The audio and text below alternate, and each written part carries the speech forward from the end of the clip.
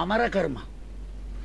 ಈ ಪ್ರಪಂಚ ಹುಟ್ಟುವುದಕ್ಕಿಂತ ಮೊದಲು ಮಧುಕೈಟವರಿಗೆ ವಿಷ್ಣುವೊಡನೆ ಸಮರ ನಡೆದಿತ್ತೆಂಬ ಕಥೆಯನ್ನು ಕೇಳಿಯೇ ನಮ್ಮ ಬುದ್ಧಿಯನ್ನು ನಾವು ಬೆಳೆಸಿಕೊಂಡವರು ಆದ್ದರಿಂದ ಎಲ್ಲಿಯವರೆಗೆ ಪ್ರಪಂಚ ಇದೆ, ಅಲ್ಲಿಯವರೆಗೆ ಕಾರಣ ನೂರು ಬೇರೆ ಬೇರೆಯಾಗಿರಲಿ ಸಮರ ಒಂದು ನಡೆಯುತ್ತಲೇ ಇರಬೇಕು.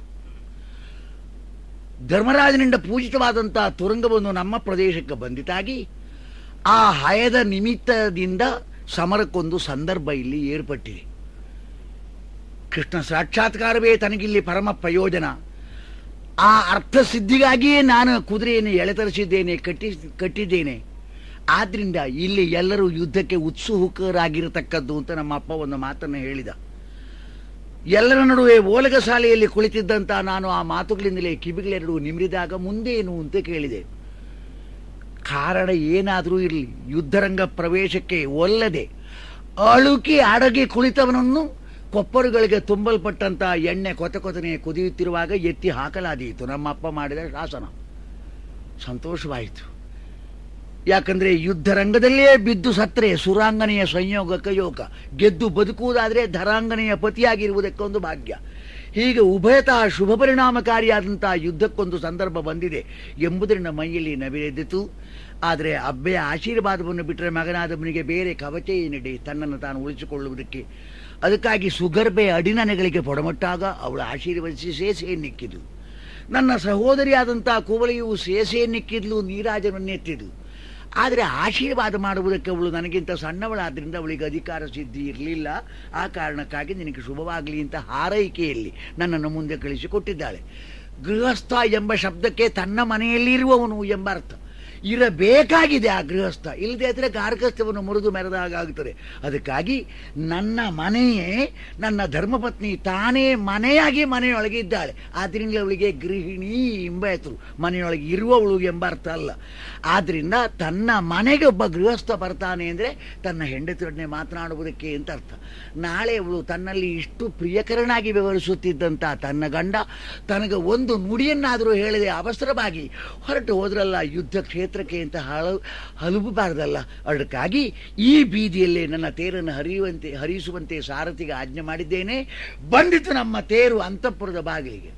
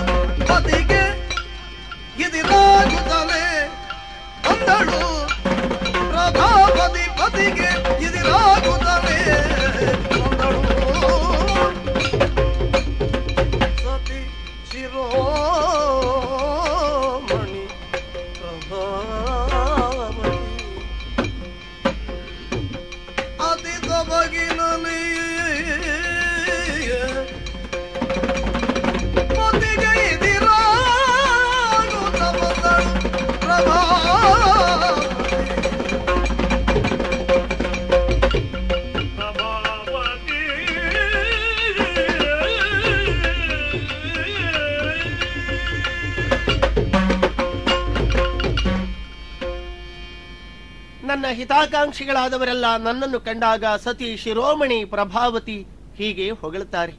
ಇವರ ಈ ಹೊಗಳಿಕೆಯನ್ನು ಕೇಳುವಾಗ ಮನಸ್ಸಿಗೇನೋ ಸಮಾಧಾನವಾದರೂ ಕೂಡ ನನಗೆ ಒಂದು ರೀತಿಯ ವ್ಯಾಕುಲವೇ ಇದೆ. ಹೆಣ್ತನದ ಪೂರ್ಣತೆ ತಾಯ್ತನದಲ್ಲಿ ಎಂತ ಹಿರಿಯರು ಹೇಳಿದರು. ಮದುವೆಯಾಗಿ ಅದೆಷ್ಟೋ ವಸಂತಗಳನ್ನು ಕಳೆದದ್ದಿದ್ದರು ಇನ್ನು ಸಂತಾನ ಭಾಗ್ಯವೂ ನನ್ನ ಪಾಲಿಗೆ ಲಭ್ಯವಾಗಲೇ ಇಲ್ವಲ್ಲ ಅನ್ನುವ ಯೋಚನೆ ಚಿಂತನೆ ನನಗೆ.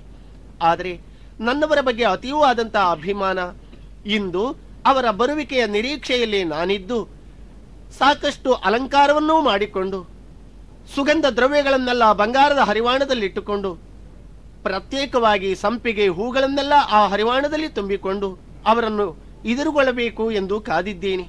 ನನ್ನ ಉದ್ದೇಶವನ್ನು ಅವರಲ್ಲಿ ತಿಳಿಸಬೇಕೆಂಬ ಆಶಯವಿದೆ. ಆ ಆ ಕಡೆಯಿಂದ ಬರುತ್ತಿರುವ ತೇರು ನನ್ನವರದ್ದೇ ಅಲ್ಲವೇ? ಅಲ್ಲಿಗೆ ಹೋಗಿ ಅವರ ಕಾಲಿಗರಿಗೆ ಕರೆತರುತ್ತೇನೆ ಹಾ ಹಾ ಈ ಬೀದಿಲಿ ಎಡಗಡೆಗೆ ನಿಲ್ಲಿಸಬೇಕು ಈ ಬಂಡಿಯನ್ನು. ಒಳ್ಳೆಯದು. ಸ್ವಾಮಿ ಓ. ನಾನು. ನಾನು ಮನೆಯೊಳಗೆ ಬರಬೇಕೆಂಬಾಗಲೇ ಹೊಸ್ತಿಲಿನಿಂದ ಕೆಳಗೆ ಇಳಿದು ಬಂದಿಯಲ್ಲ ನೀನು? ಹೌದು. ಪ್ರಭಾವತಿ. ಹೀಗೆ ದಯಮಾಡಿ. ಒಳ್ಳೆಯದು. ಆಶ್ಚರ್ಯ. ಏನ್ ಆಶ್ಚರ್ಯ? ಎಂದಿನ ಹಾಗಿಲ್ಲ ನೀವಿಂದು. ಆ ಮುಖದ ತೇಜಸ್ಸು ಆ ಓಜಸ್ಸು ಅದಲ್ಲ ಆ ಗಾಂಭೀರ್ಯ. ನೀವೇರಿ ಬಂದಂತಹ ಈ ರಥ ಆ ಕರದಲ್ಲಿರುವಂತಹ ಧನುಸ್ಸು ಬತ್ತಳಿಕೆಯಲ್ಲಿ ತುಂಬಿಕೊಂಡಂತಹ ಬಾಣಗಳು ಎದೆಗೆ ತೊಟ್ಟಂತಹ ಕವಚ ಇದೆಲ್ಲ ಏನು ಸ್ವಾಮಿ? ಸಾಯಂ ಸಂಧಿಯಲ್ಲಿ ಮುಳುಗಿದ ಸೂರ್ಯನು ಮತ್ತೆ ಪ್ರಾತಃ ಸಂಧೆಯಲ್ಲಿ ಮೇಲೆದ್ದು ಬರ್ತಾನೆ. ನಿತ್ಯ ಮುಳುಗಿದವನೇ ಮೇಲೆದ್ದು ಬರ್ತಾನೆ ಎಂಬುದರಿಂದ ಅಲ್ಲಿಯೇ ಅವಜ್ಞೆ ಯಾರಿಗೂ ಇಲ್ವಲ್ಲ ಅದಿಲ್ಲ. ಜಿಗುಪ್ಸೆ ತೋರುವುದು ಸರಿಯಲ್ವಲ್ಲ? ಕೂಡುದು ಕೂಡುದು. ನಿತ್ಯ ನೂತನತೆ ಒಂದು ಸೂರ್ಯನಲ್ಲಿ ಒಂದು ತನ್ನ ಕೈ ಹಿಡಿದ ಹೆಂಡತಿಯಲ್ಲಿ. ಯಾಕಂದ್ರೆ ನಿನ್ನೆ ಇದ್ದಾಗೆ ನೀನು ಇಂದಿಲ್ಲ. ತನ್ನ ಗಂಡ ಎಂತ ಶ್ರೀಮಂತ ಎಂಬುದನ್ನು ಲೋಕಕ್ಕೆ ತೋರಿಸುವುದಕ್ಕೆ ಆಭರಣಗಳನ್ನು ಹೇರಿಕೊಳ್ಳುವವರು ಕೆಲವರಿದ್ದಾರೆ. ತನ್ನ ಗಂಡನ ಕಣ್ಣುಗಳಿಗೆ ತಂಪಾಗಲಿ ಎಂಬುದಕ್ಕಾಗಿ ತನ್ನಲ್ಲಿರುವಂತಹ ಸೌಂದರ್ಯದ ಸ್ಪಷ್ಟೀಕರಣಕ್ಕೆ ಯಾವ ಆಭರಣವನ್ನು ಸ್ವೀಕರಿಸಿದರೂ ಸೌಂದರ್ಯದ ವರ್ಧನೆಯಂತೂ ಆಗುವುದಿಲ್ಲ. ಸೌಂದರ್ಯದ ಸ್ಪಷ್ಟೀಕರಣಕ್ಕೆಂದು ವಿವಿಧ ರತ್ನಾಭರಣಗಳಿಂದ ಅಂಕಿತೆಯರಾಗಿ ಕೆಲವರು ವ್ಯವಹರಿಸುತ್ತಾರೆ. ನೀನು ನಿತ್ಯ ಹೀಗೆಲ್ಲ ಇರ್ತಿರ್ಲಿಲ್ಲ. ಎಲ್ಲಿಗೋ ಹೊರಟವಳಂತೆ ಕಾಣಿಸುತ್ತಿರುವೆಯಲ್ಲ. ಏನಾಗಿದೆ? ಎಲ್ಲಿಗೆ ಹೊರಟೆ? ಆಹಾ. ನಾನೆಲ್ಲಿಗೂ ಹೊರಟದ್ದಲ್ಲ. ಮತ್ತೆ ನೂತನ ವಸ್ತ್ರಾಭರಣಗಳಿಂದ ಅಲಂಕಾರ? ಹ್ಮ್. ನಿಮ್ಮನ್ನು ಸ್ವಾಗತಿಸುವುದಕ್ಕಾಗಿಯೇ ನಾನು ಸಿದ್ಧಳಾಗಿ ಇದ್ದವಳು. ಹಾಗಾದ್ರೆ ನನ್ನಲ್ಲಿ ನಿನಗೆ ಹೇಗೋ ನಿನ್ನಲ್ಲಿ ನನಗೂ ಹಾಗೆ ಒಂದು ಹೊಸತನ ಕಂಡಿತು. ಏನೇ ಇರ್ಲಿ ಇಲ್ಲೇ ಬಾಗಿಲಲ್ಲಿ ನಿಂತು ಮಾತನಾಡುವುದು ಒಳಗೆ ಬನ್ನಿ. ಸಭ್ಯತೆ ಅಲ್ಲ. ಅಲ್ಲ. ಹಾಗೆ ಓ. ಕುಳಿತುಕೊಳ್ಳಿ. ನನಗೆಂದೇ ಮೀಸಲಾಗಿರುವ ಮಿಸುನಿಯ ಮಣೆ ಇದು. ಹ. ಒಳ್ಳೆಯದು. ನೀನು ನನ್ನ ಹೊತ್ತಿನಲ್ಲಿ ಎಡಗಡೆಯಲ್ಲಿ ಮಾತ್ರ ಬಲಗಡೆಯಲ್ಲ ಕುಳಿತಿರುವುದಕ್ಕೆ ಇಷ್ಟವಿಲ್ಲದೆ ಇದ್ರೆ ನಿಂತಾದ್ರೂ ಮಾತನಾಡಬೇಕು. ಆದೀತು. ಗಂಡನೊಂದಿಗೆ ಹೆಂಡತಿ ಕುಳಿತಿರುವುದು ಸರಿಯಲ್ಲ. ಗಂಡನು ನಿಂತಿರುವಾಗ ಅವನೊಂದಿಗೆ ನಿಂತಿರುವುದು ಹೆಂಡತಿಗೆ ಧರ್ಮ ಅಲ್ಲ.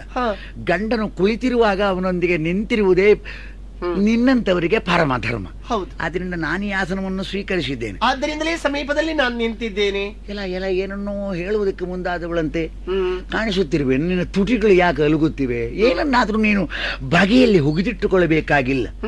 ಗಂಡನಿಗಿಂತ ಹೆಚ್ಚು ಆತ್ಮೀಯತೆಯಲ್ಲಿ ಬೇರೊಬ್ಬ ಗಂಡು ಇದ್ದಾನ ಹೆಂಗಸಿಗೆ? ಇರುವುದೇ ಇಲ್ಲ. ಹೆಂಡತಿಯು ಗಂಡನಿಗೆ ಹಾಗೆ ಅಲ್ವೇ? ಆದ್ರಿಂದ ಹೇಳು ಚಿನ್ನ ಹೇಳು ಮುದ್ದು ಪ್ರಭಾವತಿ. ನೀವೀಗ ನನ್ನ ಅಲ್ಲಿಗಾಗಿಯೇ ಹೊರಟು ಬಂದದ್ದೇ? ಅಥವಾ ಎಲ್ಲಿಗೋ ಹೋಗುವವರು ನನ್ನನ್ನು ಸಂಧಿಸಿ ಮುಂದುವರಿಯುವುದಕ್ಕಿದ್ದವರೇ? ಹೇಳಿ ನನ್ನಲ್ಲಿ. ಈ ಮಾತುಗಳ ಮರೆಯಲ್ಲಿ ಪ್ರೀತಿ ತುಂಬಿರುವುದು ನನಗೆ ತಿಳಿಯಿತು. ಅದರೊಂದಿಗೆ ಸ್ವಲ್ಪ ಕುತೂಹಲವು ಇದ್ದಾಗೆ ಕಾಣಿಸ್ತಾರೆ ಖಂಡಿತ. ಯಾಕಂದ್ರೆ ಇಲ್ಲಿಗೆಂದು ಬಂದಿರ? ಮತ್ತೆಲ್ಲಿಗೆ ಹೋದವನು ನಾನು. ಇಲ್ಲಿಗೆಂದೇ ಬಂದಿದ್ದೇನೆ. ಇಲ್ಲಿಗೆ? ಯಾಕೆ ನಿನಗೆ ಎಲ್ಲಿಗೋ ಹೊರಟವರು ಎಂಬ ಸಂದೇಹ ಬಂದಿದೆ ಹೇಳು. ಅದೇ ನಿಮ್ಮ ಉಡುಗೆ ತೊಡುಗೆ ನಿಮ್ಮ ಈ ಸಿದ್ಧತೆ ಇದೆಲ್ಲ ಸತಿಗ್ರಹಕ್ಕೆ ಬರಬೇಕಾದಾಗ ಅವಶ್ಯವೇ? ಬರೀ ಉಡುಗೆ ತೊಡುಗೆಗಳಲ್ಲಿ ನಿನ್ನ ಕಣ್ಣಿನ ಕೆಲಸವನ್ನು ಮುಗಿಸಿಕೊಳ್ಳಬೇಡ. ನೋಡು ಜೋಲುತ್ತಿದೆ ಹೆಗಲಲ್ಲಿ. ಧನುಸ್ಸು ಆ. ಅದೇ. ಇದನ್ನು ಎತ್ತಿ ಹಿಡಿದ್ರೆ ಶತ್ರು ಸ್ಥಾನದಲ್ಲಿದ್ದವನು ಸತ್ತೇ ಹೋಗ್ತಾನೆ. ನಿನಗೆ ಗೊತ್ತಿದೆಯಲ್ಲ? ಗೊತ್ತು. ಸುಮ್ಮನೆ ಹಸ್ತಭೂಷಣ ಸಾಮಗ್ರಿ ಆಗ್ಲಿ ಅಂತ ಬಿಲ್ಲನ್ನು ನಾನು ಕೈಕೊಂಡು ಬರಲಿಲ್ಲ. ಆಗಿರ್ಲಿಕ್ಕಿಲ್ಲ. ಶತ್ರುಗಳನ್ನು ಕೊಲ್ಲುವಲ್ಲಿ ಈ ಆಯುಧವನ್ನು ಹೆಚ್ಚಾಗಿ ನಾನು ಬಳಸ್ತೇನೆ. ಯಾಕೆ ಯಾಕೆ? ನನಗೆ ತಿಳಿಯಬೇಕು ನಿಮ್ಮ ಉದ್ದೇಶ. ಅಷ್ಟೇಯ? ಹಾ. ಹಾಗೆ. ನಳಿನಾಕ್ಷಿ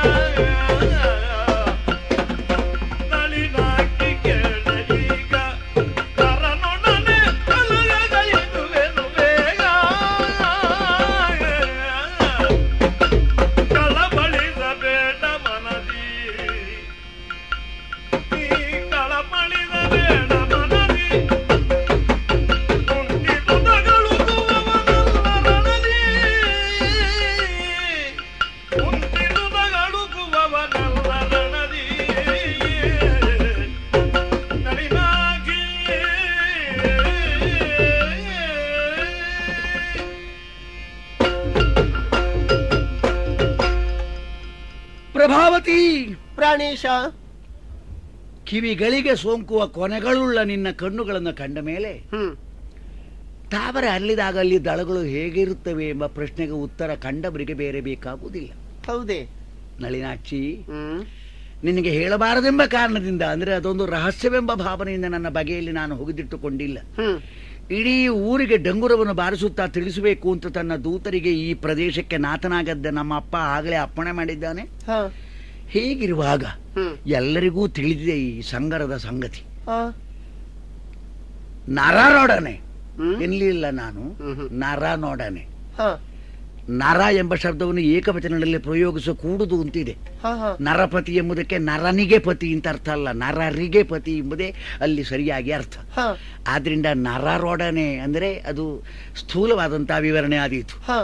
ಮನುಷ್ಯನಂದ್ರೆ ತಾನೊಬ್ಬನೇ ಎಂದು ಹೇಳಿಕೊಳ್ಳುವುದಕ್ಕೋ ಎಂಬಂತೆ ತನಗೆ ನರ ಎಂಬುದು ಹೆಸರಲ್ಲ ಬಿರುದು ಎಂಬ ಕಾರಣದಿಂದ ಬೀಗಿ ನಿಂತವನು ಒಬ್ಬನಿದ್ದಾನೆ ಅರ್ಜುನ ಅಂತ ಅವನಿಗೆ ಹೆಸರು ಲೋಕದಲ್ಲಿ. ಆ ಅರ್ಜುನ ತನ್ನ ಕುದುರೆಯನ್ನು ಮುಂದಿಟ್ಟುಕೊಂಡು ಅದರ ಕಾವಲಿಗೆ ಕಸುವುಳ್ಳವನಾಗಿ ಹಿಂದಿನಿಂದ ಬಂದವನು. ಹ. ಕುದುರೆಯನ್ನು ಎಳೆದು ತನ್ನ ಅಶ್ವಾಲಯಕ್ಕೆ ತರಿಸಿ ಕಟ್ಟಿಸಿ. ನಮ್ಮಪ್ಪ. ಅರ್ಜುನೊಡನೆ ಯುದ್ಧವನ್ನು ನಿರ್ಧರಿಸಿಕೊಂಡಿದ್ದಾನೆ. ಯಾಕಂದ್ರೆ ಯುದ್ಧ ಮುಖದಿಂದಾದರೂ. ಕುದುರೆಯನ್ನು ಬಿಡಿಸಿಕೊಂಡು ಹೋಗದೆ ನಾನು ಸೋತು ಸುಯಲಿಡ್ತಾ ನಾನು ನನಗೆ ಮುಖ ತೋರಿಸುವವನಲ್ಲ ಅಂತ ಅಲ್ಲಿ ಅರ್ಜುನ ಪ್ರತಿಜ್ಞೆ ಮಾಡಿದ್ದಾನಂತೆ. ಹಾಗೊಂದು ಯುದ್ಧಕ್ಕೊಂದು ಸಂಧಿ ಬಂದ ತಾನಾಗಿ ಏರ್ಪಟ್ಟಿದೆ. ನಮಗಂತೂ ಒಂದು ಸುಯೋಗ. ಯಾಕಂದ್ರೆ ನಮ್ಮ ಮೈಯಲ್ಲಿ ಹರಿಯುತ್ತಿರುವುದು ತಣ್ಣೀರಲ್ಲ ಕೆನ್ನೀರು ನಿನಗೂ ಗೊತ್ತಿದೆ. ತಾನೊಬ್ಬ ಬ್ರಾಹ್ಮಣನಿಗೆ ಯತಿಗೆ ಸನ್ಯಾಸಿಗೆ ಹೆಂಡತಿ ಅಂತ ನೀನು ಹೇಳಿಕೊಳ್ಳಬೇಕಾಗಿ ಬರಲಿಲ್ಲ. ಯಾವ ಸುಧನ್ವ ಕೇಳಿದ್ರೆ ವೀರ ಸುಧನ್ವ. ಅಲ್ವಾ? ಹೌದು. ಹಾಗಾದ್ರೆ ನೀನು ಕೂಡ ಈಗ ಸಂತೋಷಗೊಳ್ಳುವ ಆಗ್ತಿ ಅಂತ ನನ್ನ ನಂಬುಗೆ. ಅರ್ಜುನನೊಡನೆ ಯುದ್ಧಕ್ಕೆಂದು ಹೊರಟು ಬಂದವನು. ಸ್ವಾಮಿ. ಏನು? ಅರ್ಜುನಲ್ಲಿ ಯುದ್ಧವೇ. ಇಲ್ಲ ಏನು ಉದ್ಗಾರ ಇದು? ಹೌದು. ನಿನ್ನ ಮಾತು ಒಂದೊಂದರಲ್ಲಿಯೂ ಕೂಡ ನಿನ್ನ ಅಂತಃಕರಣದ ಕುದಿಯು. ಅಂದ್ರೆ ಬಿಸುಪು ತುಂಬಿಕೊಂಡಿದೆ. ಅರ್ಜುನ್ ಆದರೆ ಏನಾಯ್ತು. ಅವನ ಆಗಸ್ಟ್ ಕೆಳಗೆ ಬಿದ್ದವನಲ್ಲ. ಅಲ್ಲ. ಪಾತಾಳದಿಂದ ತಲೆಯನ್ನು ಎತ್ತಿಕೊಂಡು ಮೇಲೆ ಎದ್ದು ಬಂದವನಲ್ಲ. ಅವನನ್ನು ಹೆತ್ತ ಹಬ್ಬೆಗೆ ಏನಾದ್ರೂ ಹನ್ನೆರಡು ಮೊಲೆಗಳು ಇರಲಿಲ್ಲ ಹಾಗಾದ್ರೆ ನನ್ನಂತೆ ಒಬ್ಬ ನರ ಮತ್ತೇನದ್ರಲ್ಲಿ ಆದ್ರಿಂದ ಪ್ರಭಾವತಿ. ನರನೊಡನೆ ಕಲಹಕ. ಇದುವೇನು? ನನ್ನ ನಿರ್ಧಾರವನ್ನು ನಿನಗೆ ತಿಳಿಸಿದ್ದಾಯ್ತು. ಅರ್ಜುನನೇ ಅರ್ಜುನನೇ ಬೆರಗಾದವಳಂತೆ ತೆರೆದ ಬಾಯಿಯನ್ನು ಮುಚ್ಚುವುದಕ್ಕೂ ಮನಸ್ಸಿಲ್ಲದವಳಂತೆ ಹಾಗೆಯೇ ನಿಂತಿದ್ದು ನೀನು ಅರ್ಜುನ ಅಂತ ಹೇಳಬೇಡ.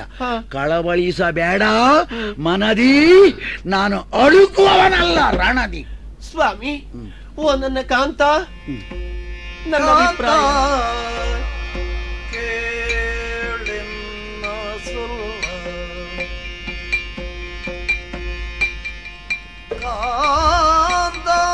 ಕೇಳ್ ಎನ್ನ ಸೊಲ್ಲ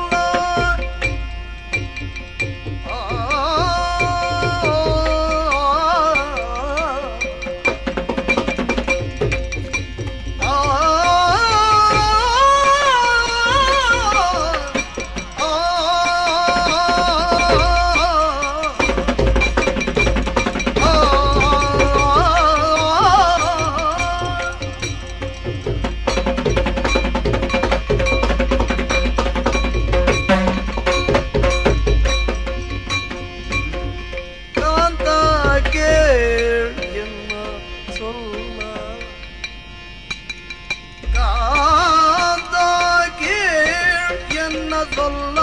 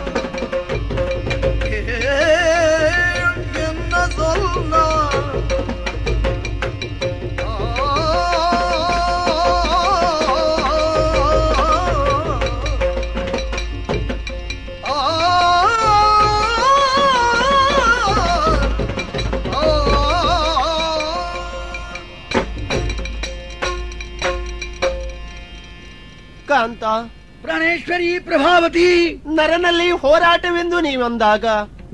ನಾನು ಕಳವಳಿಸುವುದಕ್ಕೊಂದೇ ಕಾರಣ. ನಿಮಗಿಂತ ಪಾರ್ಥ ಸಮರ್ಥ ಅಂತ ನಾನು ಹೇಳೋದಿಲ್ಲ.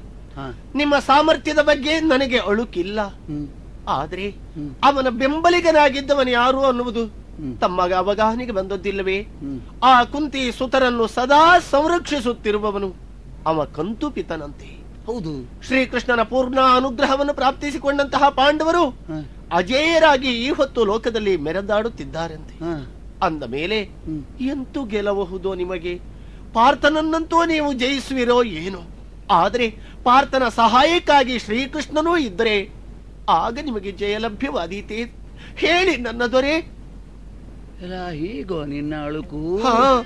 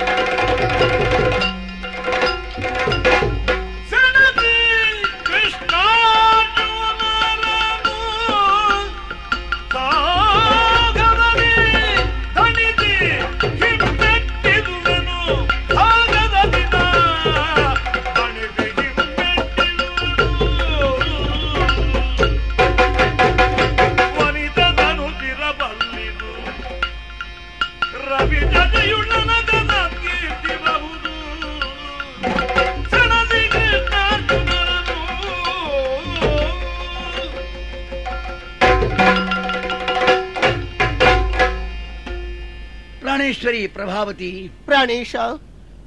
ಅರ್ಜುನನು ನಾನು ನನಗಿಂತ ದುರ್ಬಲನು ಅಂತ ಎಂದೂ ಭಾವಿಸಿಯೂ ಇಲ್ಲ. ಹ. ಅಥವಾ ಅವನನ್ನು ಗೆಲ್ಲುವುದಕ್ಕೆ ಹೊರಟಿದ್ದೇನೆ ಅಂತ ನಾನು ಅವಸರದಲ್ಲಿ ಆದರೂ ತಪ್ಪಾಗಿ ಹೇಳಲಿಲ್ಲ. ಅವನಲ್ಲಿ ಹೋರಾಟಕ್ಕೆ ಹೊರಟೆ. ಅಷ್ಟೇ. ನಾನು ಗೆದ್ದು ಬರ್ತೇನೆ ಅಂತ ಏನೂ ಹೇಳಲಿಲ್ಲ. ನಿನಗೂ ಈಗ ಅರ್ಜುನನೊಬ್ಬ ಸಮರ್ಥ ಎಂಬುದರಿಂದ ಈ ಮನಸ್ಸಿನಲ್ಲಿ ಅಳುಕು ಹುಟ್ಟಲಿಲ್ಲ ಎಂಬುದನ್ನು ನೀನು ತಿಳಿಸಿದೆ. ಹೌದು. ಸಂತೋಷವಾಯಿತು. ಶ್ರೀಕೃಷ್ಣ ಅವನಿಗೆ ರಕ್ಷಕ. ಶ್ರೀಕೃಷ್ಣನ ವ್ಯವಹಾರ ವಿಧಾನ ಏನೋ? ಆ ಬಗೆಗೆ ನಾನು ಏನನ್ನೂ ಹೇಳುವುದಿಲ್ಲ. ತನಗೆ ಯಾವುದು ತಿಳಿದಿಲ್ಲ. ಅದನ್ನು ಬೇರೆ ಯಾರಿಗೂ ಯಾವನೂ ಹೇಳಬಾರದೆಂಬ ನಿಯಮ ಇದೆ. ಶ್ರೀಕೃಷ್ಣನ ವ್ಯಕ್ತಿತ್ವ ಏನು ಅವನ ಸಾಮರ್ಥ್ಯವೆಷ್ಟು ಯಾರಿಗೆ ತಿಳಿದಿದೆ ಈ ಲೋಕದಲ್ಲಿ? ಸಾಹಸಿ ಹೌದು ಶ್ರೀಕೃಷ್ಣ. ಹಾಗಾದ್ರೆ ಆ ಸಾಹಸಕ್ಕೆ ಪ್ರತಿಯಾಗಿ ನಾನು ನನ್ನ ಸಾಮರ್ಥ್ಯ ಪ್ರದರ್ಶನದಲ್ಲಿ ಉತ್ಸಾಹವುಳ್ಳವನಲ್ಲ. ಉಳ್ಳವನಲ್ಲ ಸಾಹಸವನ್ನೇ ತೋರ್ತೇನೆ. ಯಾಕಂದ್ರೆ ನನ್ನ ಹೆಂಡತಿಯಾಗಿ ನಿನಗೆ ಸಾಮರ್ಥ್ಯಕ್ಕಿಂತ ಸಾಹಸ ಬೇರೆಯಾಗಿ ಹೇಗೆ ಎಂಬುದು ತಿಳಿದಿರಬೇಕು. ಸಾಹಸದಲ್ಲಿ ಅರ್ಜುನನ ಸಂರಕ್ಷಣೆಗೆಂದು ಕೃಷ್ಣ ಬರ್ತಾನಾದ್ರೆ ಅವನು ಮೆಚ್ಚುವ ಹಾಗಾದ್ರೆ ಸಾಕು. ನಾವಲ್ಲಿಗೆ ಅವನನ್ನು ಮೆಚ್ಚಿಸಿದ ಒಂದು ಜಯವನ್ನು ಒಂದು ಗೆಲುವನ್ನು ಪಡೆದಾಗಾಯ್ತೋ ಇಲ್ವೋ? ಹಾ ಹಾ. ಆದ್ರಿಂದ ಇನ್ನಿಂತ ಯುದ್ಧ ಕರ್ಮ ಬೇಡ. ಅಂತ ಅವರಿಬ್ರು ಆಯಾಸಗೊಂಡವರಂತೆ ನಿಟ್ಟಿಸಿರುಡುವಂತೆ ಮಾಡದೇ ಇದ್ರೆ ನಾನಕ್ಕೆ ಗಂಡನೇ ಅಲ್ಲ. ಆ ಕಾರಣಕ್ಕಾಗಿ ಅಳುಕಿನಿಂದ ನೀನೇನಾದ್ರೂ ಹೇಳಬೇಕಾದದ್ದನ್ನು ಹೇಳದೆ ಮುಚ್ಚಿಟ್ಟುಕೊಳ್ಬೇಡ. ಸಂತೋಷವಾಯ್ತು ಹೋಗು. ಒಂದು ಮಾತು ಹೇಳಿಬಿಟ್ರೆ ಸಾಕು. ನನಗೆ ಎರಡು ಕಡೆಯಲ್ಲಿ ಎರಡರಕ್ಕೆ ಮುಡಿದಾಗ ಆದೀತು ಹಾ ಹೆಜ್ಜೆ ಮುಂದೆ ಇಡ್ತೇನೆ. ಸ್ವಾಮಿ ಈಗ ನಿಮ್ಮ ಮನಸ್ಥಿತಿ ಏನು ಅನ್ನುವುದು ನನಗೆ ಅರ್ಥವಾಯಿತು ಯುದ್ಧದಲ್ಲಿ ಗೆದ್ದೇ ಬರ್ತೇನೆ ಅಂತ ನೀವು ಹೇಳ್ತಾ ಇಲ್ಲ. ಇದನ್ನ ಅರಿತೆ. ನಿಮಗೆ ಈ ಮಾರ್ಗ ಸರಿಯೇ ಹೌದು. ನನ್ನ ಬಗ್ಗೆ ಹೇಳಿನಿತೋ ನೀವು ಯೋಚಿಸಿದ್ದಿಲ್ವೇ? ನಿನ್ನ ಬಗ್ಗೆ ಏನು? ನಾನೀಗ ಯಾವ ಸ್ಥಿತಿಯಲ್ಲಿದ್ದೇನೆ ಅಂತ ನಿಮ್ಗೆ ಅರ್ಥವಾಗ್ಲಿಲ್ವೇ? ನನ್ನ ಶ್ರೇಯಸ್ಸನ್ನು ಕುರಿತು ನಾನು ಸಾಕಷ್ಟು ಯೋಚಿಸಿದ್ದೇನೆ. ಶ್ರೀಕೃಷ್ಣ ಬಂಡ್ರೆ ನನಗೆ ಪ್ರಿಯಕರವಾದ ಯುದ್ಧದ ಜಯ ಅಂದ್ರೆ ಪ್ರೇಯಸ್ಸು. ಸಿದ್ಧಿಸ್ತದೋ ಇಲ್ಲೋ ಗೊತ್ತಿಲ್ಲ. ಶ್ರೇಯಸ್ಸಿನಲ್ಲಿ ನನಗೆ ನಿಷ್ಠೆ ಇದೆ. ಅದರಿಂದ ಅದನ್ನು ದೊರಕಿಸಿಕೊಡುತ್ತೇನೆ ನಿನಗೆ ಇದರಲ್ಲಿ ಏನ್ ತೊಡಕು? ಸ್ವಾಮಿ ಆ ರೀತಿ ಜಯ ಸ್ಥಿತಿ ನಿಮಗೆ ಒದಗಿದರೂ ಕೂಡ ನೀವು ಹೇಳಿದಂತ ಆ ಶ್ರೇಯಸ್ಸು. ನಿಮಗೆ ಲಭ್ಯವಾದೀತೋ ಹೇಳಿ. ಸಾಹಸಕ್ಕೆ ಫಲ ಶ್ರೇಯಸ್ಸು. ಆಹಾ. ಮತ್ತೆ? ಸುತಹೀನ ಅನ್ನುವ ಒಂದು ವ್ಯಥೆ ನಿಮ್ಮ ಮನಸ್ಸಿನಲ್ಲಿ ಉಳಿದಿಲ್ಲವೇ ಇನ್ನು? ಓಹೋ ನಮಗಿಬ್ಬರಿಗೂ ಅದೊಂದು ದೋಷ ನಮ್ಮಲ್ಲಿ ಉಳಿದಿದೆ. ಹಾ. ಸುತಹೀನತೆ ಅದು ದಾರಿದ್ರ್ಯವೂ ಹೌದು. ಹ್ಮ್. ಏನದ್ರಿಂದ? ನೋಡಿ ಹ್ಮ್. ನಾನೀಗ ಹ್ಮ್. ಸಂತಾನವನ್ನು ಪಡೆಯುವುದಕ್ಕೆ ಸಿದ್ಧತೆಯಲ್ಲಿದ್ದೇನೆ. ಸಿದ್ಧತೆಯಲ್ಲಿಯೋ ಅರ್ಹತೆಯಲ್ಲಿಯೋ? ನನಗೆ ಸ್ಪಷ್ಟೀಕರಣ ಬೇಕು. ಅಲ್ಲ ಮನಸ್ಸಿನ ಸಿದ್ಧತೆ ಹ. ದೈಹಿಕವಾದ ಅರ್ಹತೆ. ಎರಡನ್ನೂ ಹೊಂದಿದ್ದೇನೆ. ನನಗದು ಮುಖ್ಯ. ಹ್ಮ್. ಎಂದ್ರೆ ನೀನು ಮುಟ್ಟಾಗಿ ಮಿಂದು ಬಂದು ಹದಿನೈದು ದಿನಗಳ ಅವಧಿ ದಾಟಲಿಲ್ಲ ಇನ್ನು. ಅರ್ಥವಾಯ್ತು. ಇದಕ್ಕೆ ಋತು ಅಂತ ಹೆಸರು ಅವಧಿಗೆ. ನಿನಗೆ ಋತು ಆ ಸಮಯ ಎಂಬುದರಿಂದ. ನಾನೇನನ್ನು ಮಾಡಬಹುದು? ಈ ಸ್ಥಿತಿಯಲ್ಲಿ ನಾನೇನನ್ನು ಮಾಡಬಹುದು ಏನನ್ನು ಮಾಡಬೇಕು? ಕೃಷಿಕನಾದವನು ತನ್ನದ್ದಾದಂತಹ ಹೊಲದಲ್ಲಿ ಹದವಾದ ಕಾಲದಲ್ಲಿ ಬೀಜವನ್ನು ಬಿತ್ತಿ ಬೆಳೆಯನ್ನು ಬೆಳೆಯೋದಿಲ್ಲವೇ? ಹಾಗೆ. ಬೀಜವನ್ನು ಅವನಿಗೆ ಕರ್ತವ್ಯವೂ ಹೌದು. ನೆಲವು ಹದವಾಗಿದೆ ಎಂಬುದರಿಂದ ಹದವಾದ ಮಣ್ಣಿನಲ್ಲಿ ಆ ಬೀಜವನ್ನು ಇಡುವುದಕ್ಕೆ ಅವನು ಮುಂದಾದಾಗ ನಡುವೆ ಬೀಜ ವಾಪರಿಗಿಂತ ಪ್ರಧಾನವಾದದ್ದೇನಾದ್ರೂ ಬಂದ್ರೆ ಯಾಕಂದ್ರೆ ಯಾವುದೋ ಒಂದು ವಾರ್ತೆ ಬಂತಿತ್ತು ಅವನಿಗೆ. ಆ ವಾರ್ತೆಯಲ್ಲಿ ಅವನು ಆ ಕಡೆಗೆ ಆಸಕ್ತಿಯನ್ನು ತೋರಿಸಬೇಕಾಯ್ತು. ಮಗಳ ಮದುವೆಗೆ ನೆಂಟನ್ನು ನಿಶ್ಚಯಿಸುವುದಕ್ಕೆ ಯಾರೋ ಬರ್ತಾ ಇದ್ದಾರೆ ಅಂತ. ನಾನು ಬೀಜವನ್ನು ಬಿತ್ತಿದ ಮೇಲೆ ನೆಂಟತನವನ್ನು ಮಾಡುವುದಕ್ಕೆ ಬರ್ತೇನೆ ಅಂತ ಉತ್ತರವನ್ನು ಕೊಟ್ಟರೆ ಹೇಗಾದೀತು? ಆದ್ರಿಂದ ಈ ಬೀಜ ವಾಪನೆಗೆ. ನಾಳೆವರೆಗೆ ಅಂತ ಅವನ ಅವಧಿಯನ್ನು ಮುಂದೆ ದೂಡಿ ಸದ್ಯದಲ್ಲಿ ಯಾವುದು ಅಂತ ತಿಳಿಯಬೇಕು. ಈಗ ನಾನು ನಿನ್ನಲ್ಲಿ ಬೀಜ ಬಿತ್ತುವುದು ಅಪರಾಧ ಅಲ್ಲ ನನಗೆ ಕರ್ತವ್ಯ ಹೌದು. ಆದ್ರೆ ಮುಂದಿದೆಯಲ್ಲ ಯುದ್ಧ. ಯುದ್ಧ. ನೀವು ಹಾಗೆ ಹೇಳಿದ್ರು ನಾನು ನಿಮ್ಮನ್ನು ಬಿಡಲಾರೆ. ಬಿಡೆ ಬಿಡಲು ಬಿಡೋನು ನಿನ್ನ. ಬಿಡೆ ಬಿಡಲು ಬಿಡೋನು ನಿನ್ನ. ಎನ್ನ ಗೂಡನು ಗೂಡು ಬೇಡ್ವಿ ಮುನ್ನ.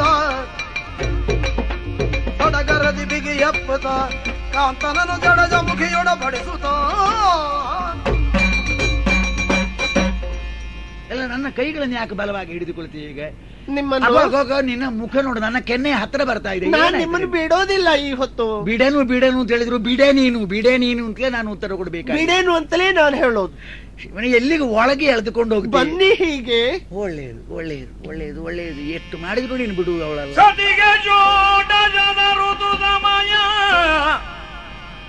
ಸತಿಗೆ ಜೋಡ ಏಕಾದಶಿ ವ್ರತ ಮಲಂಘ್ಯ ತುಂದು ದಿನ ಮೇಯೇ ಸಂಗತ ಮಾದೊಡೆಂತು ಕರ್ತವ್ಯವೇನೇ. ಪೈತೃಕದ ಜೇಜಾನ ಮಾಘ್ರಾಣಿದೆ. ಮೃತ ಭೋಜಮಾದ ಬುದು ನಡುವಿರು ಕಳೆದ. ವನಿತೆಯ ನೊಣಗೂಡಬಹುದು ಅದರಿಂದ ಧರ್ಮ ಪದ್ಧತಿಯ ಇವಳ ನಿಂದು ಮೀರುವುದು. ಮತಮಲ್ಲೆಂದವು ತಿಳಿದನು.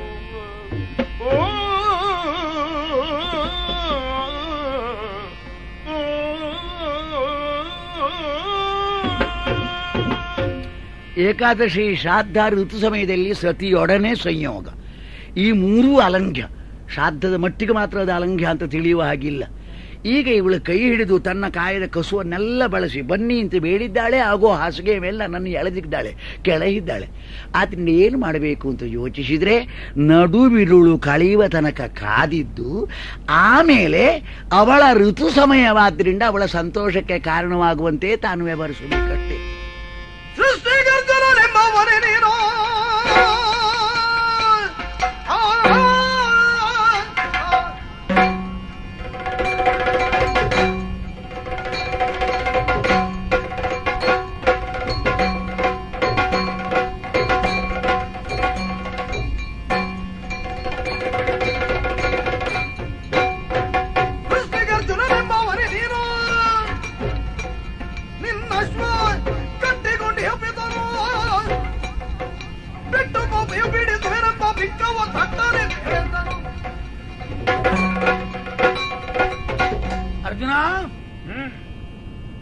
ಒಂದು ವಿಶಿಷ್ಟವಾದಂತಹ ವೃಕ್ಷ ಇದೆ.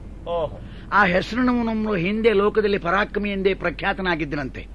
ನಿನ್ನ ಬಾವುಟದಲ್ಲಿ ಕೋಡಗದ ಚಿತ್ರವೋ ಕೋಡಗವೋ ನನಗೆ ಆ ವಿಷಯದಲ್ಲಿ ಜಿಜ್ಞಾಸೆಯೇ ಇಲ್ಲ.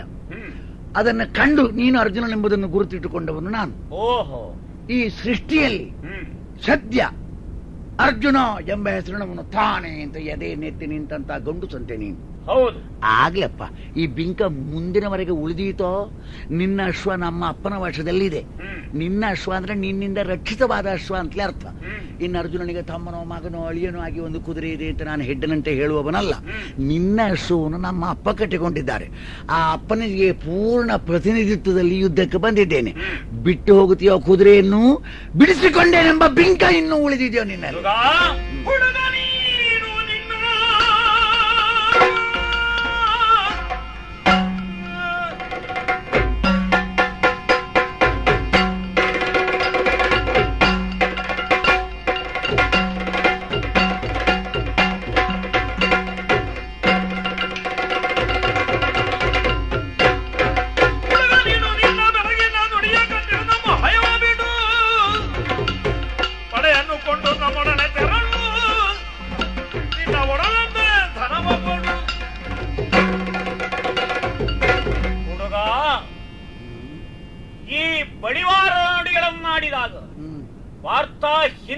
ಪಡೆಯಬಹುದು ಎಂಬ ಕಲ್ಪನೆ ನಿನಗಿದ್ದರೆ ಅದು ವ್ಯರ್ಥ. ನಿನ್ನ ವಾಗ್ವೈಖರಿ ವೈಖರಿ ನನಗೆ ಮೆಚ್ಚುಗೆಯನ್ನುಂಟು ಮಾಡಿದೆ. ಕೇವಲ ವಚನ ರಚನಾ ಬಲದಿಂದ ಅರ್ಜುನನನ್ನು ಕಂಗೆಡಿಸ್ತೇನೆ ಎಂದು ಭಾವಿಸಬೇಡ. ಯಾರಲ್ಲಿ ಹೇಗೆ ಮಾತನಾಡಬೇಕು? ಇದನ್ನು ತಿಳಿಯದ ನಿನ್ನ ಬಾಲಿಶ ಬುದ್ಧಿಗೆ ನನಗೆ ಖೇದವಾಗುತ್ತಿದೆ ಹಾಗೆಂದು ನನ್ನ ವಯಸ್ಸೇನು? ನನ್ನ ಯೋಗ್ಯತೆ ಏನು? ನನ್ನ ಅಂತಸ್ತೇನು? ಇವುಗಳನ್ನು ಗಣಿಸದೆ. ಆಡಂಬರೋಕ್ತಿಗಳನ್ನು ಆಡದಿರು. ನಿನ್ನಲ್ಲೇ ಅದಿರಲಿ ಕಟ್ಟಿಡು. ಒಳ್ಳೆಯದು ಈ ಯಜ್ಞಾಶ್ವವನ್ನು ರಕ್ಷಿಸುವುದಕ್ಕಾಗಿ ನಿಯತನಾದವ ನಾನು ಅದನ್ನು ಬಿಡು. ಇಷ್ಟೇ ಕೊಡಬೇಕು ಎಂಬ ನಿರ್ಬಂಧವೇನೂ ಇಲ್ಲ. ಯಥಾಶಕ್ತಿ. ನಮಗೆ ಕಾಣಿಕೆಯನ್ನು ಕೊಡು. ನಿನಗೆ ಯುದ್ಧದಲ್ಲಿ ಅಪೇಕ್ಷೆ ಇದ್ದರೆ ನಮ್ಮೊಡನೆ ಬಾ. ನಿನ್ನನ್ನೇ ಮುಂದಾಗಿ ಯುದ್ಧಕ್ಕೆ ಕಳುಹಿಸುತ್ತೇನೆ ಯೋಚಿಸಬೇಡ ನಾನು ಹೇಳಿದಷ್ಟನ್ನು ಮಾಡು. ರೇ ಮೂಢ. ಮೂಢನೆಂದರೆ ನಿನ್ನ ರೂಢಿಯ ಬಡನು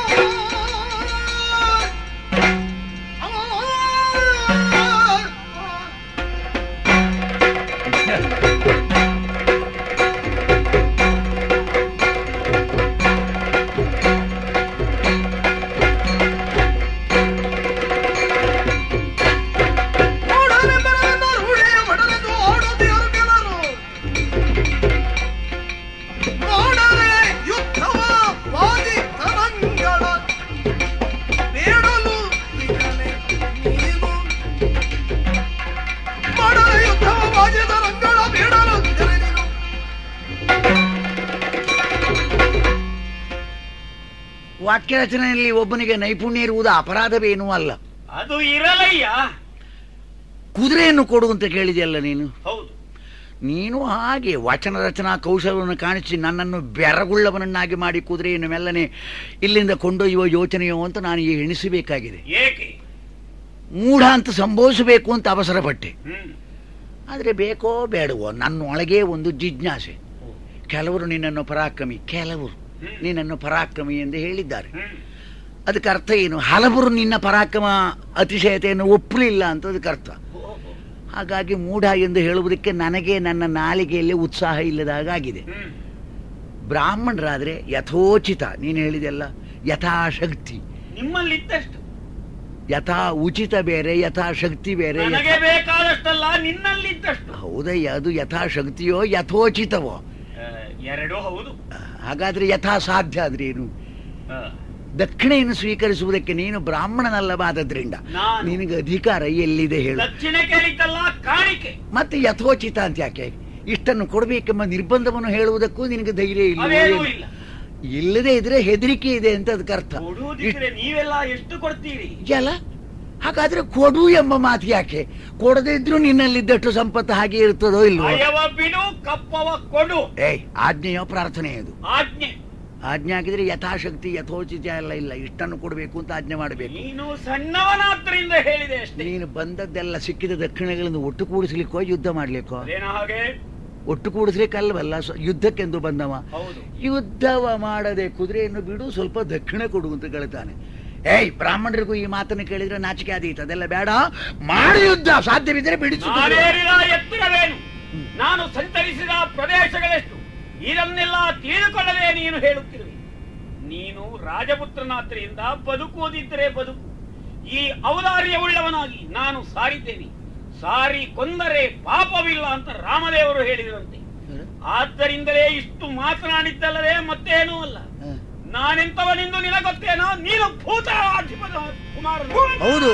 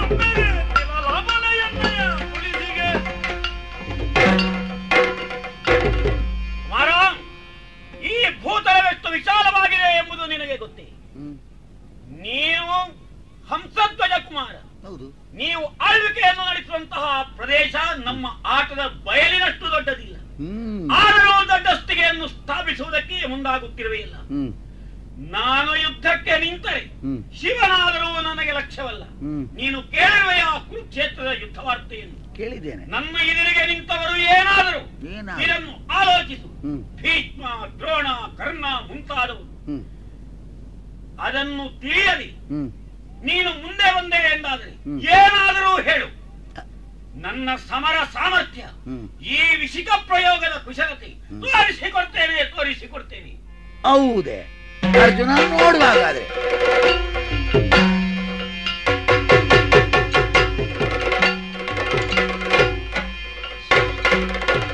ಸಾಕೋ ಬೇಕೋ ಇನ್ನು ಕೃಷ್ಣ ಕೃಷ್ಣ ಕೃಷ್ಣ ದೇವ ಕೃಷ್ಣ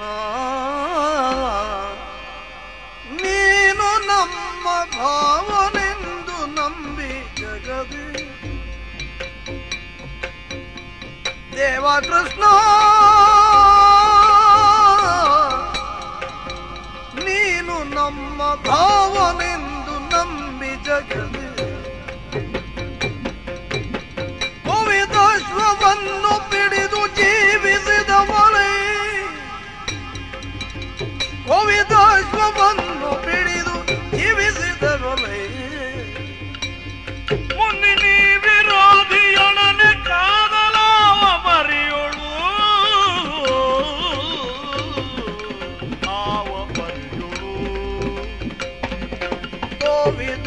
ಕೋವಿದಾಶ್ವವನ್ನು ಪಿಡಿದು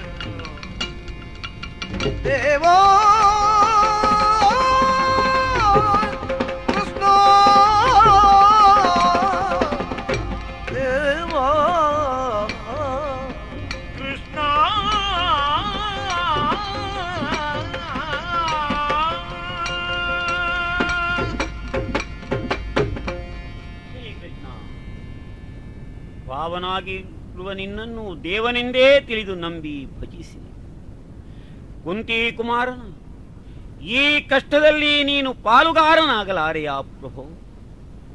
ಸಾರಥಿಯು ಅಳಿದಾಗ ನಾನೇ ಸಾರಥ್ಯವನ್ನು ಕೈಗೊಂಡು ವಿರೋಧಿಯನ್ನು ನಿಗ್ರಹಿಸುವುದಕ್ಕೆ ಪ್ರಯತ್ನಿಸಿ ವಿಫಲನಾಗಿ.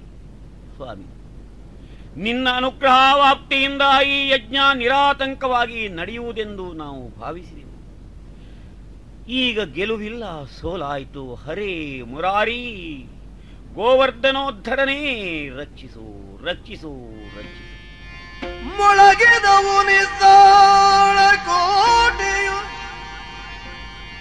ಮೊಳಗೆದುವು ನಿದ್ದಾಳ ಕೋಟೆಯು ದಳದೊಳಗೆ ತಮ ತಮಗೆ ರಘುತಿರು. ಕಳಕಳೆದು ಉತ್ಸಾಹದ ರಭಸವರು ಅಬ್ಧಿಘೋಷದಲ್ಲಿ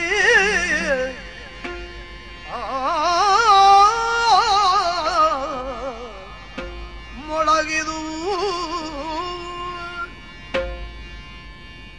ನಿಸ್ಸಾಳ ಕೋಟೆಗಳು ಅಲ್ಲಿ ಮೊಳಗುತ್ತಾ ಇದ್ದವು ಮೊದಲು. ಇನ್ನೊಮ್ಮೆ ಮೊಳಗಬೇಕಾದ ಅಗತ್ಯ ಇದೆ. ಚಂಪಕಾವತಿಯ ಸಮರಾಂಗಣದಲ್ಲಿ ನಮ್ಮ ಅರ್ಜುನನಿಗೆ ಒದಗಿದ ಈ ಸೋಲಿನಂತಿರುವ ಸ್ಥಿತಿಯಿಂದ ಧರ್ಮಜನಿಗೆ ಸ್ವಲ್ಪ ಚಿಂತೆ ಉಂಟಾಯಿತು. ಅವನಿಗೆ ಸಮಾಧಾನವನ್ನು ಹೇಳಿದ್ದೇನೆ. ಈಗ ಉಂಟಾಗಿರುವುದು ಪಾರ್ಥನ ಸೋಲಲ್ಲ. ಇದರ ರಹಸ್ಯ ಬೇರೆ ಇದೆ. ಇದು ಭಕ್ತರಿಬ್ಬರೊಳಗಿನ ಘರ್ಷಣೆಯೂ ಅಲ್ಲ. ಘರ್ಷಣೆಯಂತೆ ಕಾಣುತ್ತಿರುವ ಘಟನೆ ಮಾತ್ರ. ಇಲ್ಲಿ ಸುಧನುಮನ ಜಯಕ್ಕೆ ಬೇಕಾಗಿ ನನ್ನ ಕೈಯ ಆಯುಧವೇ ಆದಂತಹ ಅರ್ಜುನ ಸೋತವನಂತೆ ಕಾಣಿಸಿದ್ದಾನೆ. ಇಲ್ಲಿ ಸುಧನುಮನನ್ನು ಅನುಗ್ರಹಿಸುವುದು ಅಲ್ಲದೆ ಪಾಂಡವರ ಅಶ್ವಮೇಧದ ಯಜ್ಞವನ್ನು ಬಿಡಿಸಿಕೊಂಡು ಬರುವುದು. ತದ್ವಾರ ಪಾಂಡವರ ಅಶ್ವಮೇಧವು ನಿರ್ವಿಘ್ನವಾಗಿ ಸಾಗುವಂತೆ ಮಾಡುವುದು. ಈ ಎರಡೂ ಕರ್ತವ್ಯಗಳನ್ನು ಏಕಕಾಲದಲ್ಲಿ ಪೂರೈಸುತ್ತೇನೆ ಅಂತ ಧರ್ಮರಾಜನಿಗೆ ಹೇಳಿದ್ದೇನೆ. ನಮೇ ಭಕ್ತ ಪ್ರಣಶ್ಯತಿ. ನನ್ನ ಭಕ್ತರು ಎಂದೂ ನಾಶವಾಗುವುದಿಲ್ಲವಪ್ಪ. ಒಬ್ಬೊಬ್ಬ ಭಕ್ತನಿಗೆ ಒಂದೊಂದು ರೀತಿಯ ಅನುಗ್ರಹ ಬೇಕಾಗ್ತದೆ. ಇಲ್ಲಿ ಅರ್ಜುನ ಬಯಸಿದ್ದು ಯಾವುದು? ಸುಧನ್ವ ಬಯಸಿದ್ದು ಯಾವುದು? ಎಂಬ ವಿಭಿನ್ನತೆಯನ್ನು ತಿಳಿದರೆ ಧರ್ಮ ಸಂಕಟಕ್ಕೆ ಅವಕಾಶ ಇಲ್ಲ. ಅರ್ಜುನನಿಗೆ ಬೇಕಾದ್ದನ್ನು ಅರ್ಜುನನಿಗೆ ಕೊಡಿಸಬಲ್ಲೆ. ಸುಧನ್ವನಿಗೆ ಬೇಕಾದ್ದನ್ನು ಸುಧನ್ವನಿಗೆ ಕೊಡಿಸಬಲ್ಲೆ. ಈ ರೀತಿಯ ಸಮಾಧಾನವನ್ನು ಹೇಳಿ ಗರುಡ ವಾಹನನಾಗಿ ಚಂಪಕಾವತಿಯ ರಣಕ್ಷೇತ್ರವನ್ನು ಪ್ರವೇಶ ಮಾಡ್ತೇನೆ ಪ್ರವೇಶ ಮಾಡ್ತೇನೆ.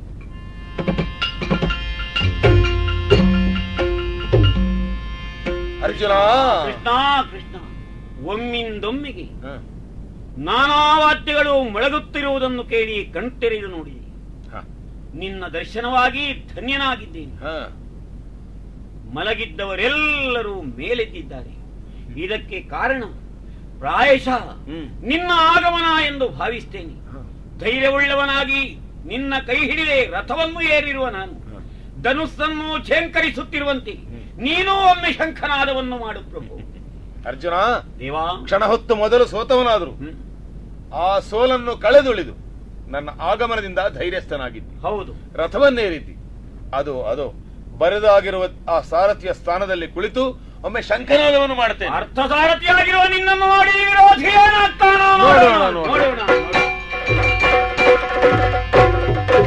ಓಹೋ. ಪ್ರಭೋ ಇದೋ ನಿನಗೆ ನಮಸ್ಕಾರ ಸ್ವಾಮಿ. ನಿನ್ನನ್ನು ಕಂಡವನ ಕಣ್ಣುಗಳಲ್ಲಿ ಪಾಪ ಉಳಿದೀತೆ ಮತ್ತೆ.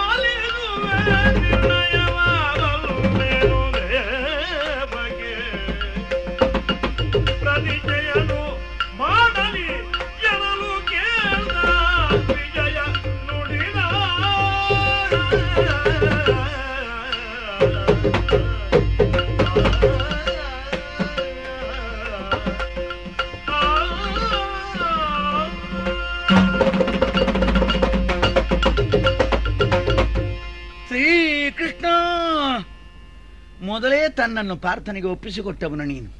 ಅವನ ಕೈಯನ್ನು ಬಿಡುವುದಕ್ಕೊಂದು ಕಾರಣ ಇಲ್ಲಿ ನನಗೂ ಎಷ್ಟು ಯೋಚಿಸಿದರೂ ಕಾಣಿಸುವುದಿಲ್ಲ. ಹಾಗಾದ್ರೆ ಮೊದಲು ಮಾಡಿಕೊಂಡಂಥ ಆ ಒಪ್ಪಿಗೆ ಎಂಬುದನ್ನು ನೀನಿಲ್ಲಿ ಶಿಥಿಲೀಕರಿಸುವನಲ್ಲ ಅಂತ ನನಗೆ ಸರಿಯಾಗಿ ತಿಳಿದಿದೆ. ಪಾರ್ಥನಿಗೆ ಜಯವನ್ನು ಒದಗಿಸಿಕೊಡುವನು. ಆದರೆ ಅವನಲ್ಲಿ ನೀನು ಕೊಟ್ಟಂತ ಆಶ್ವಾಸನೆಯಲ್ಲಿ ವಿಶ್ವಾಸ ಎಷ್ಟಿದೆ ಎಂಬ ಪ್ರಶ್ನೆಗೆ ನಮಗೆ ಉತ್ತರ ಸಿಕ್ಕಲಿಲ್ಲ ನೀನು ಅವನನ್ನು ಒಪ್ಪಿದೆ. ಅವನು ನಿನ್ನನ್ನು ನಂಬಿರುವನೋ ಇಲ್ಲವೋ ಅಂತ ನಮಗೆ ತಿಳಿಯಬೇಕೋ ಬೇಡವೋ? ಆದ್ರಿಂದಲೇ ಅವನೇನಾದರೂ ಪ್ರತಿಜ್ಞೆಯನ್ನು ಮಾಡಿದ್ರೆ. ಆಗ ಓ ಪಾರ್ಥನಿಗೆ ಭಗವಂತನಿಗೆ ತನ್ನಲ್ಲಿ ಇರುವ ಅನುಗ್ರಹದಲ್ಲಿ ವಿಶೇಷವಾದ ವಿಶ್ವಾಸ ಇದೆ ಎಂಬುದು ಪ್ರಕಟವಾದಿ ಹಾ, ಪ್ರಕಟವಾದೀತಷ್ಟೇ ಎಲ್ಲೋ ಎಲ್ಲೋ ಗೆಲುವರಿಂದನ ಮೂರು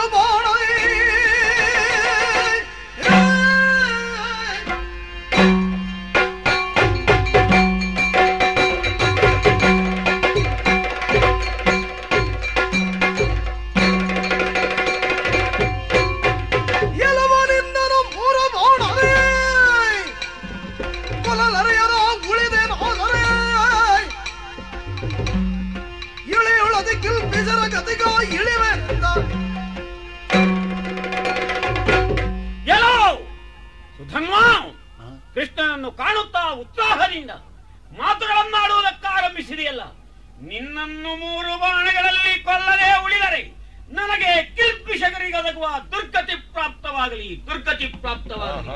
ಅರ್ಜುನ ಅವನು ಪ್ರತಿಜ್ಞೆ ಮಾಡಿದರೆ ಏನು ಗತಿ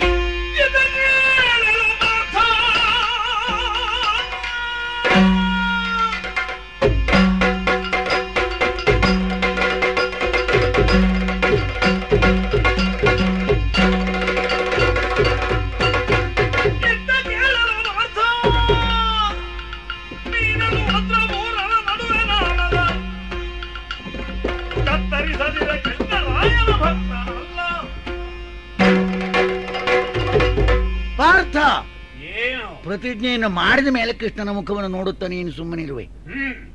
ಹಾಗಾದ್ರೆ ನಿನ್ನ ಲಕ್ಷ್ಯ ಈಗ ಪ್ರತಿಜ್ಞೆಯನ್ನು ಮಾಡಿದ ಮೇಲೆ ಆ ಕಡೆಗೆ ಹರಿದಿದೆ ಅಂತ ಅರ್ಥ. ಇತ್ತ ಕೇಳ. ನನ್ನ ಕಡೆಗೆ ಹರಿಸು ನಿನ್ನ ಲಕ್ಷ್ಯ. ನೀನು ಎಸೆಯುವಂತ ಮೂರು ಕಣೆಗಳನ್ನು ನಡುವಿನಲ್ಲಿ ಖಂಡಿಸದೆ ಹೋದ್ರೆ ಹೋದ್ರೆ? ಶ್ರೀಕೃಷ್ಣರಾಯನಿಗೆ ನಾನು ಭಕ್ತನೇ ಅಲ್ಲ. ಆಯ್ತಾ? ಆಯ್ತಾ? ಆಯ್ತು. ಬಹಳ ಚಂದ ಆಯ್ತು. ಅರ್ಜುನ ಕೃಷ್ಣ ಮತವರೆಯದೆ ರಮಿಸಿ ನುಡಿದ ಹಾಗೆಯೋ ಆ, ಆ,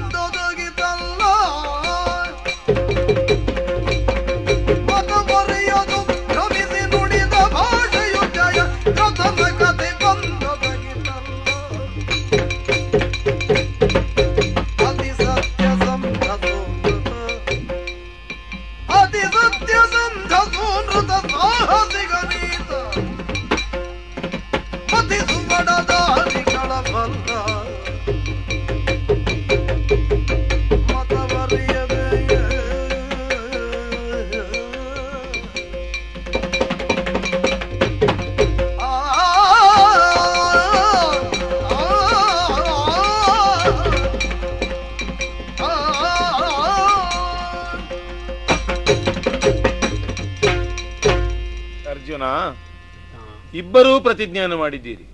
ಹೊಣೆಯನ್ನು ಇಬ್ಬರೂ ನನಗೆ ಕೊಟ್ಟಿದ್ದೀರಿ.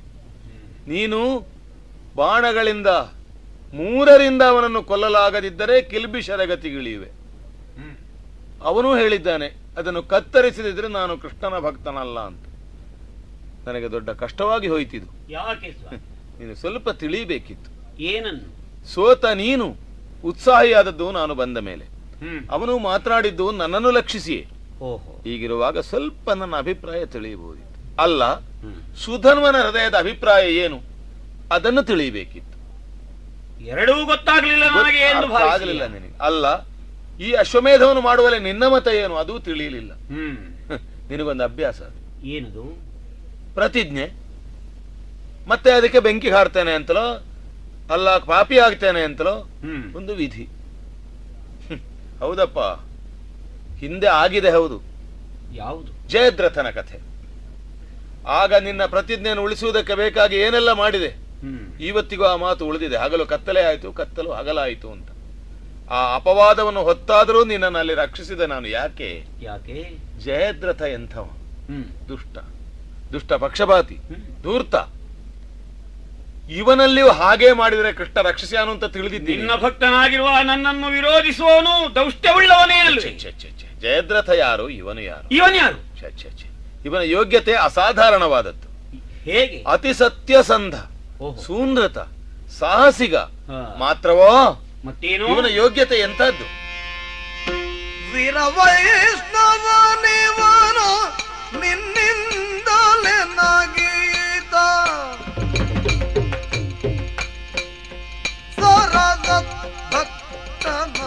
ಭಕ್ತನಾಗಿಯನು ಮೇರದ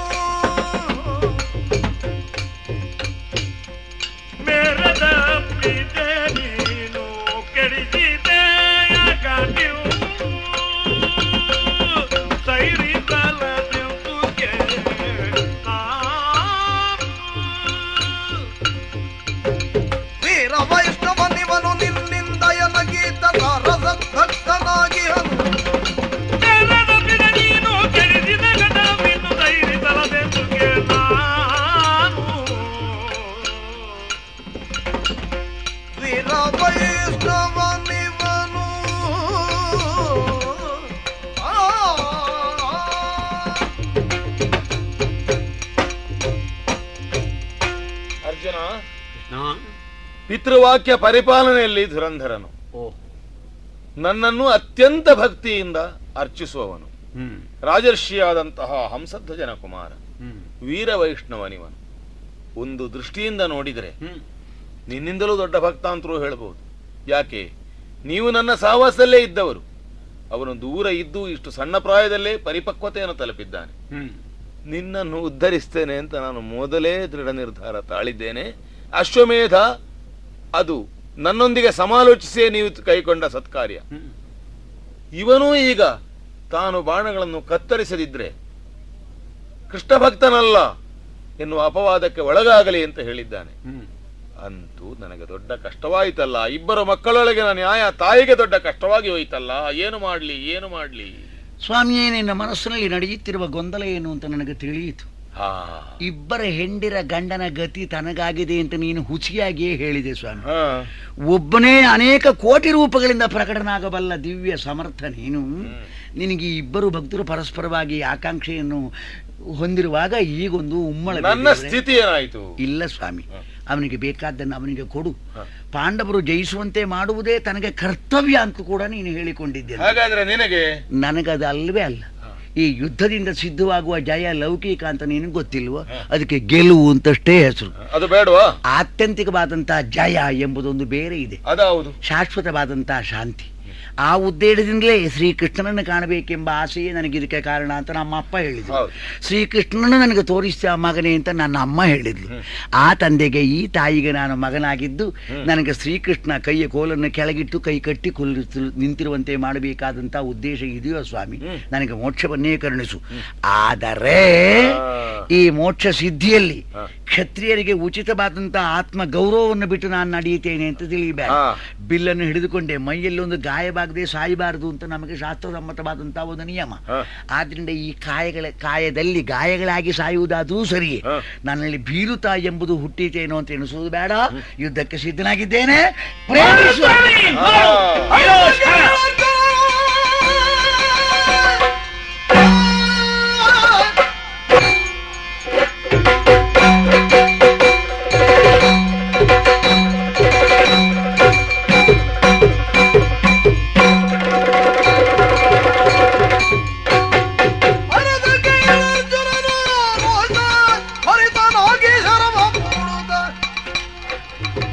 ಇರಲು ಕೃಷ್ಣ ಮುನ್ನ ಗೋವರ್ಧನಾದ್ರಿಯ ಇರಲು ಕೃಷ್ಣ ಮುನ್ನ ಗೋವರ್ಧನಾದ್ರಿಯ ನಾ ಮೊದಲ ಬಾಣವನ್ನು ಪ್ರಯೋಗಿಸುವುದಕ್ಕೆ ಸಿದ್ಧನಾದೆ. ನಿಲ್ಲ ನಿಲ್ಲ ನಿಲ್ಲು ನಿಲ್ಲು. ಈ ಬಾಣಕ್ಕೆ ಇನ್ನಷ್ಟು ಭಾರ ಕೊಡಬೇಕಾಗ್ತದೆ. ಹೇಗೆ? ಅವನಲ್ಲಿ ಆ ಪಾತ್ರತ್ವ ಇದೆ. ಓಹ್. ಆ ಬಾಣಕ್ಕೆ ಶಕ್ತಿಯನ್ನು ಹೊಂದಿಸುವುದಕ್ಕೆ ಬೇಕಾಗಿ ನನ್ನ ವಿಶಿಷ್ಟವಾದಂತಹ ಒಂದು ಮಹತ್ ಕಾರ್ಯ ಗೋವರ್ಧನೋದ್ಧರಣವನ್ನು ಮಾಡಿ ಗೋಕುಲವನ್ನು ಕಾಯ್ದಂತಹ ಗೋಪಾಲಕರನ್ನು ಕಾಯ್ದಂತಹ ಪುಣ್ಯ ವಿಶೇಷವನ್ನು ಆ ಬಾಣಕ್ಕೆ ಹೊಂದಿಸಿದ್ದೇನೆ ನೋಡು. ಒಳ್ಳೆಯದು ಕೃಷ್ಣ. ಆ ಬಾಣದ ಮೂಲಕವಾಗಿ ನಿನ್ನ ಗೋವರ್ಧನ ದುರ್ಯುದ್ಧವರಣ ಎಂಬಂತಹ ಪುಣ್ಯಕರ್ಮದ ಫಲವನ್ನು ನನಗೆ ನೀನು ಕೊಟ್ಟ ಹಾಗಾಯ್ತು. ಸಂತೋಷ ಕರೆದಿದ್ದೇನೆ ಎರಡನೆಯ ಬಾಣವನ್ನು ಎತ್ತಿ ಹಿಡಿದಿದ್ದೇನೆ. ಆ ನಿಲ್ಲು ನಿಲ್ಲು ನಿಲ್ಲು ನಿಲ್ಲು. ಇದಕ್ಕೆ ಇನ್ನಷ್ಟು ಹೆಚ್ಚು ಶಕ್ತಿಯನ್ನು ಹೊಂದಿಸಬೇಕು? ಯಾಕೆ? ಯಾಕೆ? ಆ ಪುಣ್ಯ ವಿಶೇಷ ಅಲ್ಲಿ ಸೇರಿಕೊಂಡು ಪ್ರಾಬಲ್ಯ ಬಂದದೆ. ಪಾತ್ರತ್ವವನ್ನು ಅವನು ತೋರಿಸಿಕೊಟ್ಟಿದ್ದಾನೆ. ಆದ್ರಿಂದ ಸಮಗ್ರ ಕೃಷ್ಣಾವತಾರದ ಪುಣ್ಯ ಈ ಬಾಣಕ್ಕೆ ಹೊಂದಿಸಿದ್ದೇನೆ ನೋಡಿ. ಒಳ್ಳೆಯದು ಕೃಷ್ಣ. ಈಗ ಎರಡನೇ ಬಾರಿಗೆ ಇವನಿಂದ ಪ್ರಯೋಗಿಸಲ್ಪಟ್ಟಂತಹ ಬಾಣವನ್ನು ನಾನು ಕಡಿಯುವುದಿಲ್ಲವಾದ್ರೆ ಅತ್ತ ಶಿವಪೂಜೆಯಲ್ಲಿ ಆಸಕ್ತನಾಗಿದ್ದವನಿಗೆ ಕೈ ಕೈ ಮುಗಿಯುವುದಕ್ಕಿಲ್ಲದಂತೆ ಮಾಡಿದವನ ಪಾಪ ಯಾವುದು? ಅದು ನನಗೆ ಬರುವ ಹಾಗಾಗ್ಲಿ ನೋಡಿ. ಆಯ್ತಾ? ಎರಡು ಹೋಯ್ತಾ? ಹೌದಾ? ಈ ಮೂರನೆಯ ಬಾಣದಲ್ಲಿ ಇವನ ಶಿರಚ್ಛೇದ ಆಗಲೇಬೇಕು. ನಿಲ್ಲು. ಏನು? ಈಗ ಎಲ್ಲಿಂದ ತೆಗೆಯುವ? ಕೃಷ್ಣಾವತಾರ ಮುಗಿದದೆ. ಈಗ ರಾಮಾವತಾರದ ಪುಣ್ಯ ತೆಗಿಬೇಕು ಅದು ಹಳೇ ಪುಣ್ಯ ಅದು. ಅಷ್ಟೇ ಸಾಕು. ಸಾಲದು. ಮತ್ತೆ? ರಾಮಾಯಣದ ಪುಣ್ಯವನ್ನು ಹೊಂದಿಸಿದ್ದೇನೆ.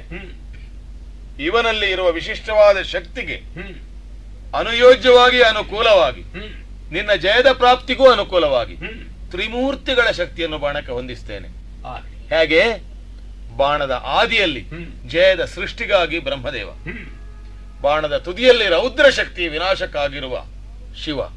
ಬಾಣದ ಮಧ್ಯದಲ್ಲಿ ಯಾವನನ್ನು ಕತ್ತರಿಸಿ ಅರ್ಥಾತ್ ಯಾವನನ್ನು ಭೇದಿಸಿ ಸೇರ್ತೇನೆ ಅಂತ ಅವನು ಭಾವಿಸಿದನು ಆ ನಾನೇ ಕುಳ್ಳಿರ್ತೇನೆ.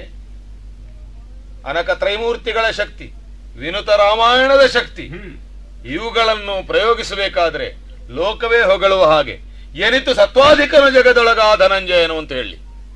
ಈವರೆಗೆ ಸೆಳೆದು ಈ ಕಡೆಯನ್ನು ಪ್ರಯೋಗಿಸುವುದಕ್ಕೆ ಸಿದ್ಧರಾಗಿದೆ ಕಷ್ಟವಿಲ್ಲದ ಪುಣ್ಯವನು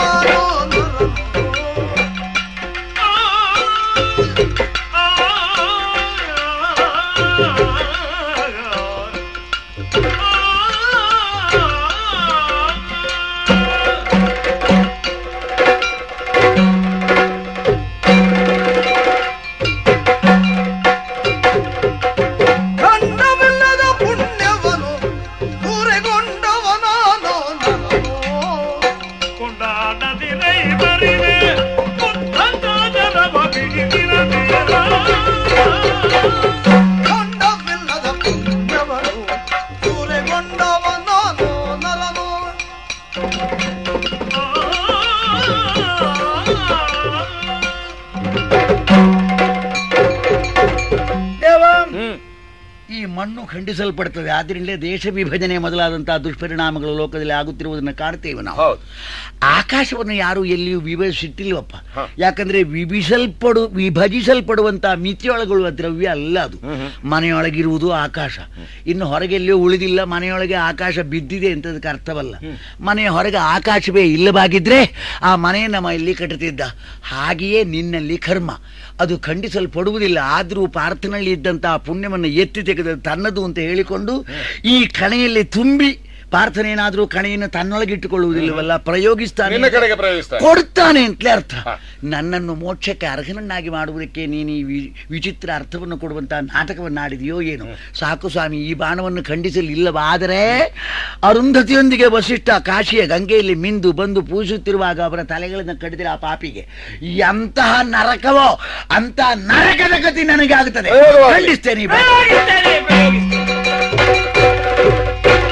ಅರ್ಜುನ ಬಾಣದ ಮಧ್ಯಕ್ಕೆ ಆತನ ಬಾಣವು ಪ್ರಯೋಗವಾಗಿ ಅವನ ಪ್ರತಿಜ್ಞೆ ನಡೆದಿದೆ. ಬಾಣದ ತುದಿಯಿಂದ ಅವನ ಶಿರಚ್ಛೇದವಾಗಿದೆ. ಎಲ್ಲೆಡೆಯಲ್ಲಿಯೂ ಶಾಂತಿ ಸಮೃದ್ಧಿ ನೆಲೆಸಲಿ ಎಂದು ನಿನ್ನ ಪಾದ ಕೆರಗುವುದರೊಂದಿಗೆ ಸುಧರ್ಮ ಮೋಕ್ಷವಾಯಿತು. ಆಗಲಿ ಆಗಲಿ. ಮಂಗಲ ದೇವಗಿ ನಂದನಿಗೆ ಜಯಮಂಗಲ